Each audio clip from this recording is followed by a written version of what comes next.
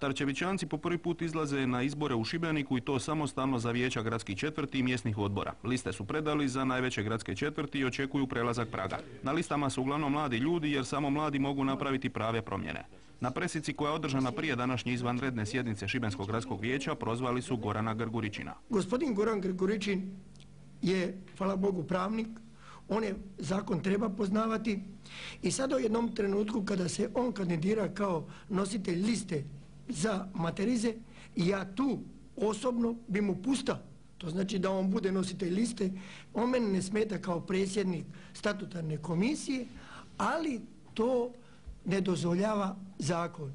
E onda ako je gospodin Grguričin bio za vrijeme predavanja lista predsjednik statutarne komisije to znači da on pada u jednaki koš kao svi sve ostale stranke koje su napravile propust Predsjednik Županijskog vijeća Šibenskih starčevićanaca Florijan Žižić kazao je da Grguričinu nije bilo dovoljno što je u razno raznim odborima gradskih firmi, već je morao biti u odboru za statut te nosite liste svoje stranke za meterize.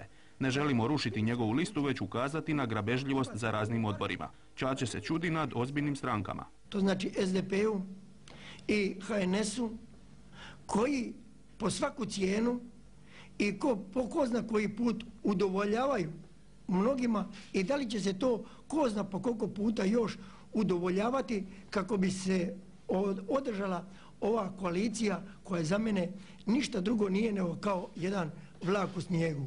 To znači zakopana do novog otopljenja.